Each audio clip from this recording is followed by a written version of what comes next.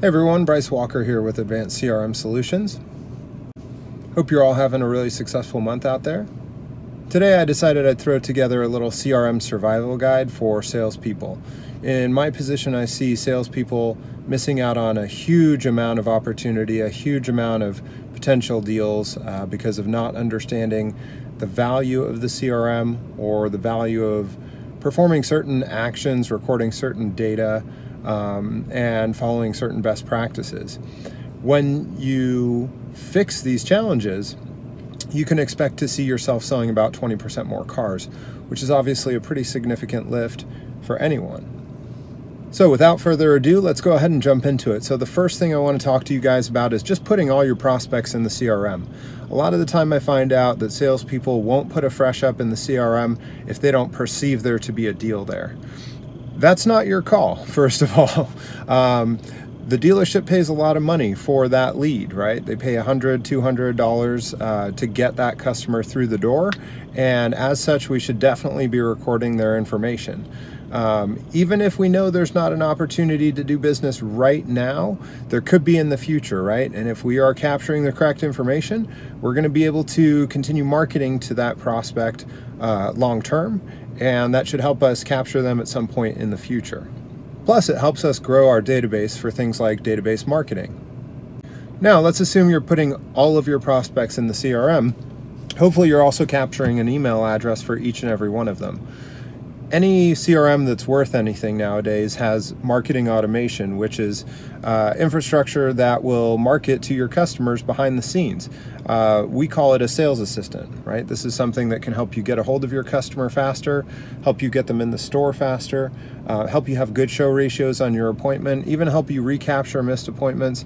And of course, this all adds up to you know being able to close more deals. So we want to make sure that we're getting at least 75% or more of our prospects' email addresses. That's a great benchmark to aim for. Uh, very few stores uh, actually achieve that milestone as a whole, but when they do, uh, they see a nice lift in their sold units. This is also something that can help out with retention and reactivation, again, because we're going to be able to market to them long term. It goes a little bit further than that, guys. Also, you know, email is obviously a very valuable form of communication. We can use that to send uh, pictures, videos, e-brochures, etc., um, that we wouldn't be able to send otherwise. Um, and also, of course, a lot more people just prefer uh, email nowadays.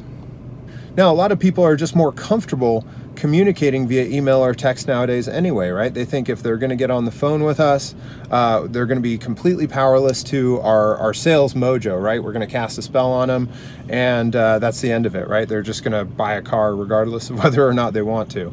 Uh, it's a funny, uh, funny stigma, but um, it's a reality, right? So uh, why wouldn't we want to give them the peace of mind that they're looking for?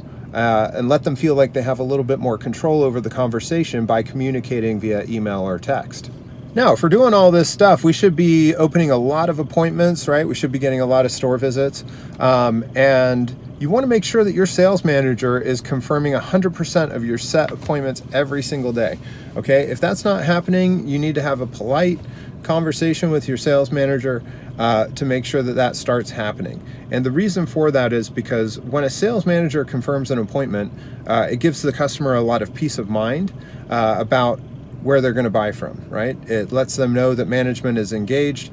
Uh, you know, the salespeople aren't just running amok around the dealership.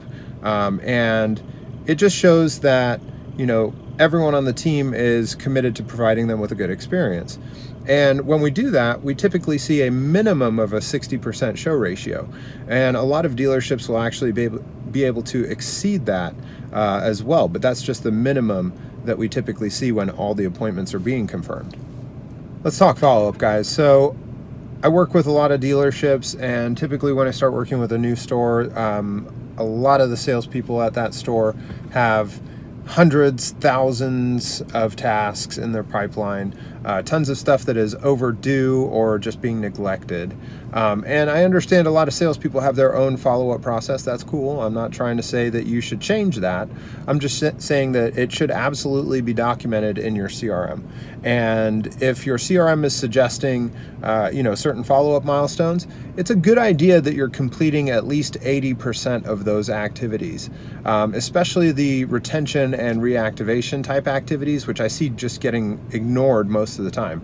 Um, there's no better time to call a sold customer than on their birthday, right? Um, or on a purchase anniversary. Uh, that's a good opportunity for us to remind them about our brand, uh, about us personally as salespeople, to remind them they had a great experience with us when they bought their car. And it's an awesome opportunity to potentially retain them long term, uh, maybe reactivate them in that moment, or even gain referrals from them from their network uh, because you reminded them that they had such a good experience with you. All right, last but not least, guys, let's talk about working your unconverted ups. Okay, this is something else that I see getting neglected way more than I'd like. Um, a lot of people, you know, because they don't touch a lead enough or because they're not persistent enough, stuff just slips through the cracks. And you look at somebody's unconverted pipeline and they've got hundreds or thousands of unconverted prospects assigned to them. Um, that's obviously a problem, guys, right? First of all, each one of those leads costs somewhere between $100 and $200 on average. Um, and so I know I wouldn't want to be the guy who has tens of thousands of dollars worth of unconverted ad spend in my pipeline. Uh, the principal, the GM, the GSM, the sales managers, they're probably not going to be very stoked about that, right? And to take it a step further, there's also a lot of missed opportunities in there for me to generate revenue that is commissionable. Now, I say this a lot to salespeople, and a common response that I get is, oh, well, that stuff's all old, or it's all cold, or whatever, right? Well, that's a pretty bad attitude, first of all. Um, it might be true, um, but that doesn't mean that there is an opportunity there. Case studies have shown that regardless of how aged your leads are, about 20% of your open opportunities will buy a car today. They're in the market, they're ready to buy. Um, and so I don't know about you guys, but I would make 100 calls to get 20 deals any day of the week. Um, in fact, back in the day, we used to have these savages in our industry who would literally just call through the phone book. They call through the white pages.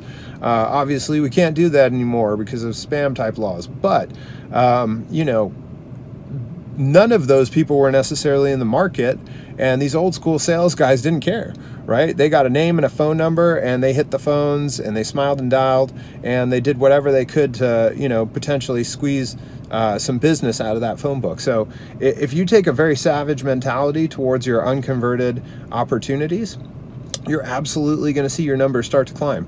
Um, now, of course, these are lower yield than your brand new leads, so you always want to make sure that you're doing your follow up on any of your uncontacted leads or any of your warm leads before you move into this initiative of working some of your age stuff. But if you are putting a quota in place for yourself each day on how many of these uh, aged lead calls you're going to make, uh, you're absolutely going to start to see your appointment numbers climbing and your sold units climbing as well. Now, that's just your unconverted deals, guys. Uh, let's talk about your sold customers, okay? So 5% of your sold customers are in the market right now, ready to buy. Obviously, we always want to start with the aged ones first, right? Four to seven years is kind of the sweet spot of where we would see equity, where people are starting to get bored with their vehicle or considering re entering the market if they're going to re-enter the market, we want to uh, reach out to them preemptively and pull them in so that there's no chance of them going to one of our competitors. We want them to come right back to us, right, so that we can retain their business.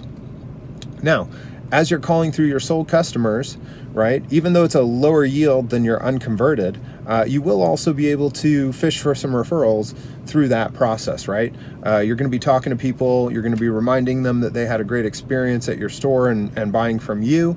And if they have people in their circles that are in the market for a vehicle, there's a good chance you're going to get a reference there let's say that you're doing a great job of maintaining your pipeline. Uh, the only unconverted leads in your pipe are the ones that you're genuinely working.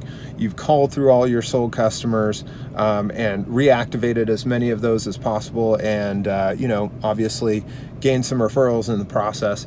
The lowest tier uh, yield for this data mining initiative is your lost deals. And 1% of those are going to be in the market at any given time. Now, this is typically a much larger category because we're always going to have more lost deals. Um, so it's going to take you more time, a little bit more elbow grease. I always recommend starting off with an e-blast to just touch that whole group of people. Uh, when you do that, you're going to get a lot of the lower hanging fruit uh, reaching back out to you so that you don't have to make hundreds of phone calls just to find, you know, a couple good leads out of all those lost deals. But guys, when you're really, really diligent about managing your pipeline and when you're bringing your A game and doing the best you can to convert every single lead that comes across your desk, uh, you will absolutely sell more cars. This is just a numbers game. So anyway, guys, I hope some of this information has been valuable to you. If you have questions about how you can utilize your CRM better to sell more cars, please feel free to re reach me anytime. Uh, you can reach out to me via Facebook, LinkedIn, uh, email, phone, text, I don't care. Um, happy to help you guys out. Definitely want to see you selling more cars. And guys, if you have tips, tricks, ideas, uh, processes, best practices, any of that stuff that you think is valuable, uh, please go ahead and leave those in the comments. I'd love to rap with you about that stuff. Always looking for, you know, unique insight from the people out there in the trenches. Um, your feedback is definitely appreciated. And guys, same goes for challenges. If you're running into a major speed bump with your CRM initiative at your store, uh, please mention what problems you're having in the comments. I'd love to see how I can help you out with that stuff. Anyway, guys, I appreciate your time. Hope you have a good rest of the month, and I'll talk to you later.